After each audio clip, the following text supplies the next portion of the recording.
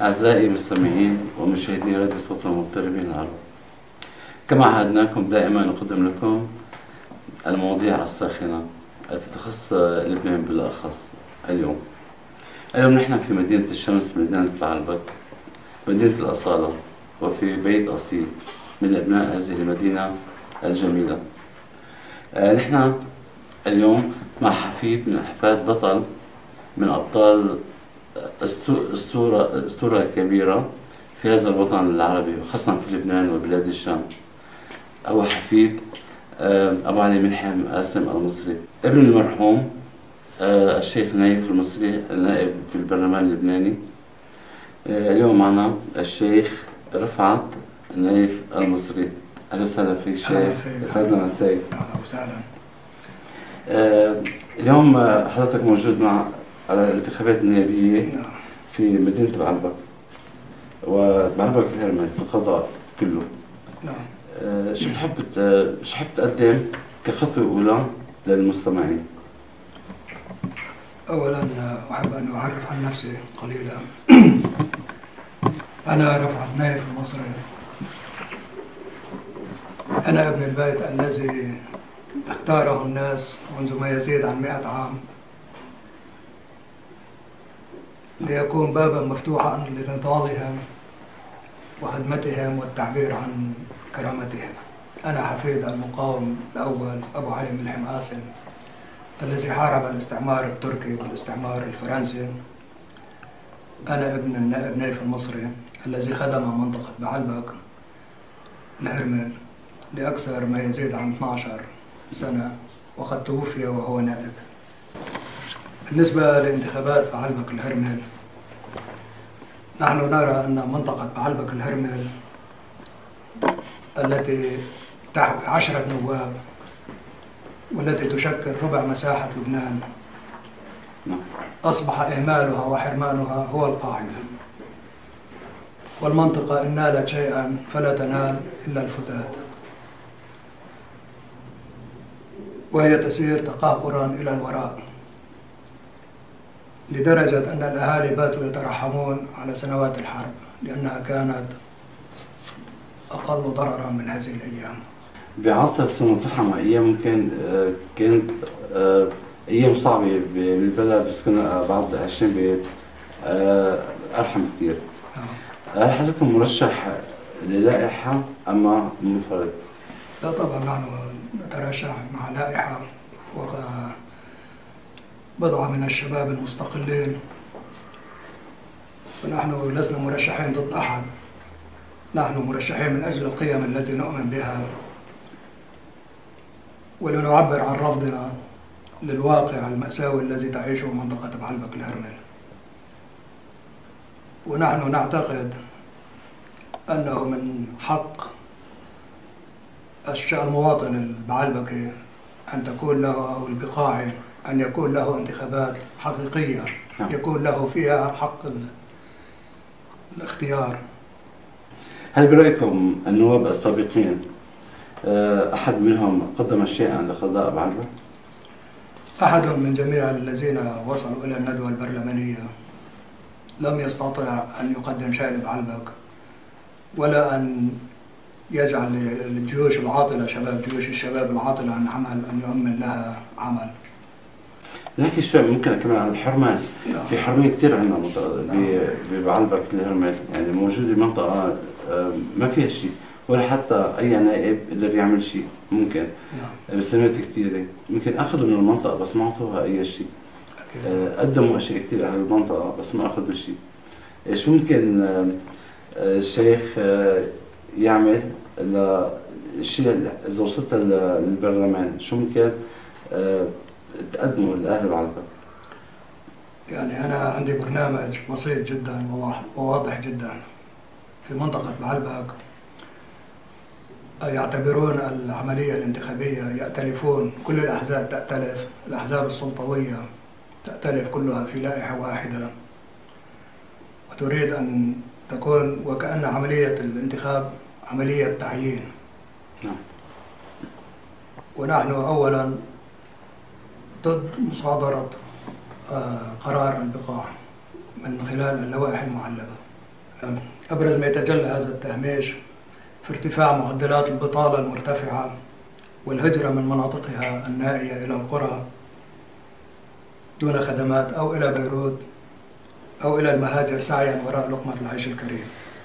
كما يتجلى هذا التهميش في التعاطي السياسي مع تمثيلها النيابي وكأنه تحصيل حاصل ويتقاسمون المقاعد النيابية والوزارية وكأنهم يريدون حصصا ويأتلفون كأنهم يريدون الانتخابات عملية تعيين كما ذكرنا.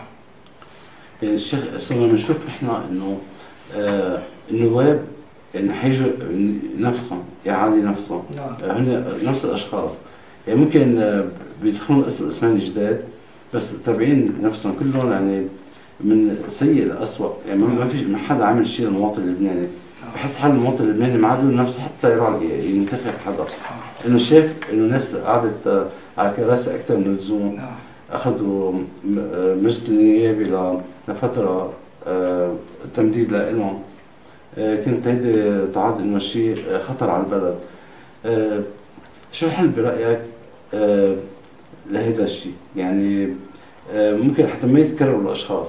نعم ما يعيد حتى المنتخب اللي بده ينتخب واحد إنه ما ينتخب نفس الشخص نفسه. يعني نحن نسأل ماذا فعل النواب العشرة في السنوات الماضية؟ من سنة 1992 نفس النواب هم في منطقة معلبك وماذا فعلوا؟ وماذا حققوا من أجل المنطقة وأهلها؟ الذين ينؤون تحت خط الفقر ويدفعون الضرائب دون أن يستفيدوا من حقوقهم في الإنماء نعم. نحن ندعو أهل المنطقة إلى أن يقترعوا لمن يستطيعون محاسبته بعد أربع سنوات. عود النواب الموجودين ما حدا بيقدر يحاسبهم ومفروضين على الناس فرض. الناس طالبت إنه ما بدنا فلان يكون باللاعة كل الناس.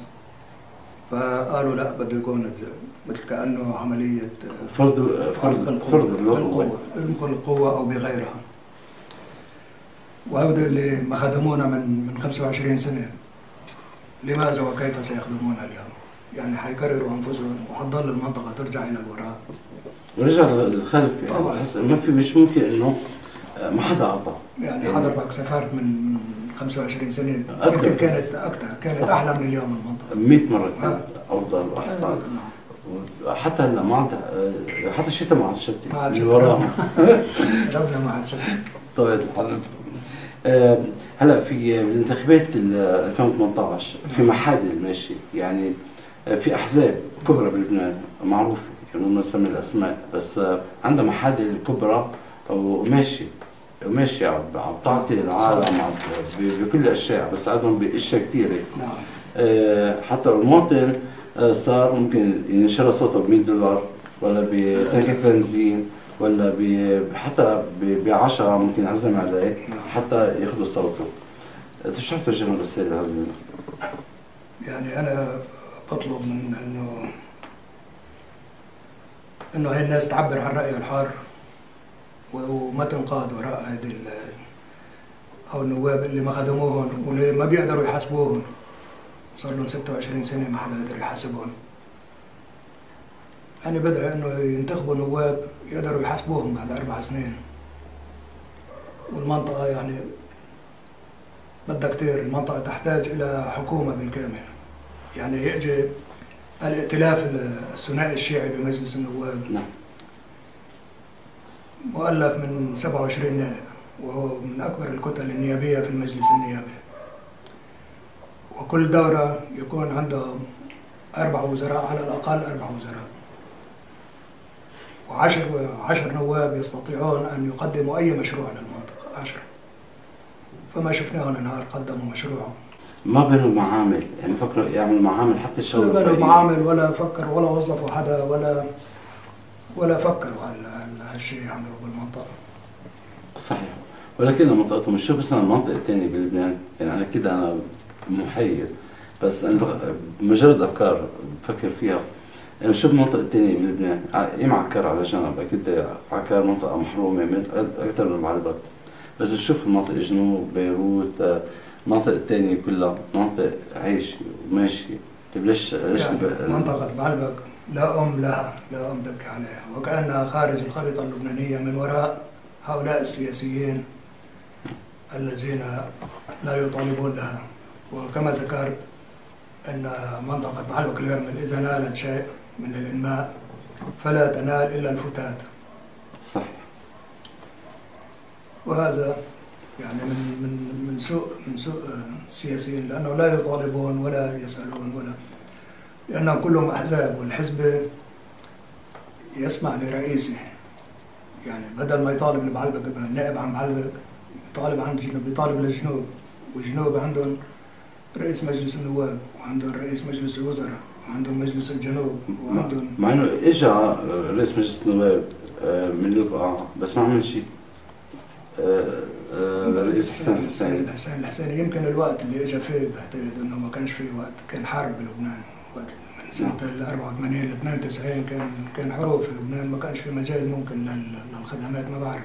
طيب إن فزت في الانتخابات النيابية في عام 2018 إن شاء نعم. الله ما ستقدم هذه المنطقة المحروسة آه، منطقة منطقة بحاجة مثل ما قلت لك بحاجة ل- لحكومة ب- ب- بحالها. يعني وقت بيجي وزير ل من بيجي وزير من هودي النواب تبع المنطقة ما بيكون للمنطقه بيكون لحزبه أو لحركته. أنا شو بقدم؟ أول شيء بدنا بدنا تنمية شاملة.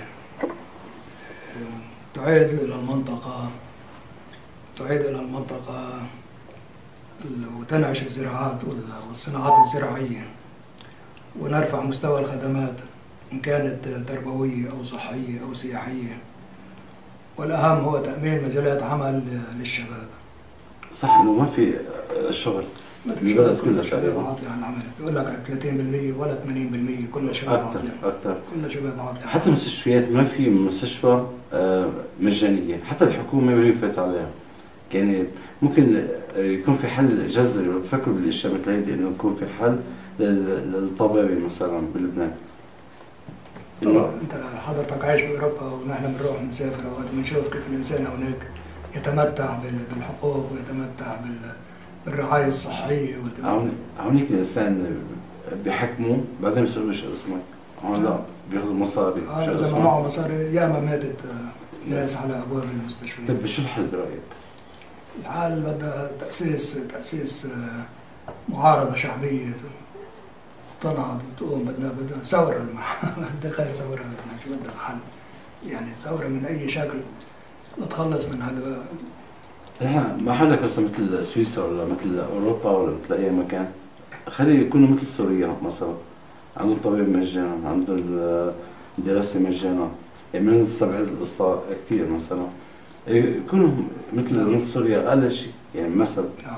بالنسبة بالنسبة عم بحكي عن التعليم نعم و- نعم. ولا الطبيب فقط.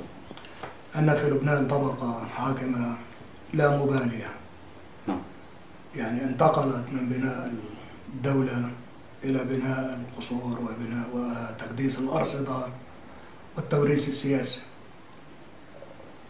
ونأمل أنه يجي نهار نخلص من هذه الطبقة. ويرجع الحكم لإيد الحكم ديمقراطي لإيد الشعب. ونحن بالانتظار أنه لا يصير هذا الوقت. الله بايدك نحن كنا كنا معك طول آه، إذا حدا لديك مارد وطلب منك أن تتمنى ثلاث أمنيات. فما هي؟ مارد علي بابا. اعتبر حضرتك مارد لك شو بيك لبيك عندك من ايديك ثلاث أمنيات شو بتطلب؟ شو نطلب نطلب أشياء كثير بدنا ثلاثة ما بكفوا شو بدنا نطلب؟ نطلب أول شيء ي- استضيف علي قبل امبارح إنه هذا الحكام الحكام اللي عنا ينحطوا يتحاسبوا نحن إذا بينا بلا حساب بدهم يضلوا هودي بدهم يزيدوا فساد هذا الفساد اللي بالوطن مبين اللي سببوا هالفساد والتفتيش المركزي ببيروت بيعرف كل يعرف كل ليرة وكل فرانك أين أين صرف. ويعرف كل واحد قديش سرق وقديش نهب من هيدي الدولة اللي اعتبروها مثل البقرة وكل واحد ماسك يرضع منها. نتمنى إنه هودي الناس هيدي تتحاسب وتنزل بالسجون وإن شاء الله بنعمل عليها. إذا وصلنا أول شغلة نعملها إنه نطالب هودي الفاسدين إنه يعيدوا هالمصاري اللي سرقوها للدولة. عندنا مليار 100 مليار دولار دين في منهم أكثر من نصهم مسروقين ومعروف الناس اللي سرقته السياسيين. فبدنا نرجع نطالب فيهم جيبوا لنا إياهم. خذ يا أخي خلي لك 200 خلي مليون دولار لك بكفيك لتموت هيك بالحالة هيدي المارد حيقدم استقالته. هذا طلب صعب. صعبة صعبة ما في عليهم بيقتلوهم. آه، كل شيء عن جد. نحن نشوف إنه لسه في ثورات. أكيد ثورات في اغلبها ما نجحت. بس قدروا يزحوا حكام من من أمريكا الامريكا تبعيتهم. آه، آه، كلمة آه، ل- ل- لأهالي بعلبك والهرمة يعني المنطقة اللي بدهم ينتخبوك. أنا بدي أطلب منهم من جميع المواطنين إنه ينتخبوا اللي بيقدروا يحاسبوه بعد أربع سنين. نعم. مش ال- اللي ما فيهم لاي وبطلب إنه أصواتهم يعبروا عن أصواتهم عن بيعبروا بصدق وبحرية. ويحق لهم إنه يكون عندهم انتخابات حرة ليعبروا من خلالها عن عن حريتهم ورأيهم الحر ونطلب منهم انه ينزلوا بكثافة على الصناديق. ليعبروا عن رفضهم للواقع المأساوي الذي بتعيشه هالمنطقة هذا المطلوب. طيب شو بتحب توجه كلمة للمغتربين اللي بدهم ينتخبوا خارج لبنان. مغتربين بقول لهم إنه أنتم اغتربتوا أمكم دعيتكم فليتوا من هالبلد. وبس نتمنى إنه ترجع هالبلد مثل ما كانت وأحلى لحتى ترجعوا عليها. في قرابة 90 ألف صوت نعم. يمكن يعطوه في 20 مليون مغترب لبناني. بس في 90 ألف صوت آه، سجلوا. نعم.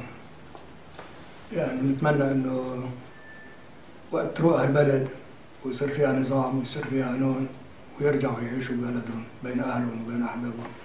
هذا المطلوب ونطلب الله يوفقهم. بارك الله فيك شيخ نحن من عندك بنتمنى لك النجاح بنتمنى أن يكون رجل من أمثالك آه، يوصل يجربوا يجربوا أربع سنين. يعني بعدين حاسبوا بعد أربع سنين يعني لازم نحكم دائما عن الأشياء. لازم جربنا السنوات. الناس ما فهمتوا عن أمر شيء 26 سنة 26 سنة. يعني بالزيادة ما خدموا بالزيادة صح. وهلا عم يقعدوا إنه بدنا ناخده. طيب مرة 26 سنة. وين كنتوا؟ ليش ما خدمتوا؟ ليش هلا بدكم تخدموا؟ كلها وعود. مثل الوقت السابق معلش. وعود سابقة كلها بلا طعمة لازم نجهز. الناس. نحن بن- بنتمنى إنه العالم توعى والعالم تفيق والعالم ما تتاخذ بال- بالطائفية وبالمذهبية. لأنه عندنا يعني أكثر صوت ماشي صوت الطائفي بهالبلد. صح. وكل واحد نظام طائفي مع إنه قانون الطائف قال إنه إلغاء الطائفية السياسية.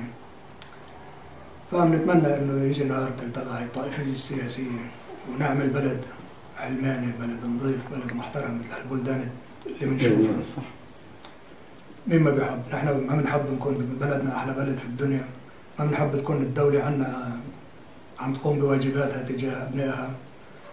كل واحد بيتمنى لأبنائه إنه يكونوا يعيشوا بسعادة ويعيشوا بأمان. وهذا حلم عنا إنه نشوف هالدولة ونشوف هالوقت هذا. وإلى الله ترجع الأمور. إن شاء الله يا رب. ننتهك الباب الصمت آه بدنا نشكر آه المر- المرشح للانتخابات النيابية الشيخ رفعت نايف المصري آه للانتخابات 2018 بتمنى له كل النجاح من كل قلبي. آه لأنه بيستاهل يكون نائب. جربوا مرة. لأربع سنين. يعني بعدين يحكموا شكرا لكل مستمعينا غادي صوت المغتربين العرب ومستمعينا ومشاهدينا بنلتقي قريبا مع حلقة قادمة مع مرشح.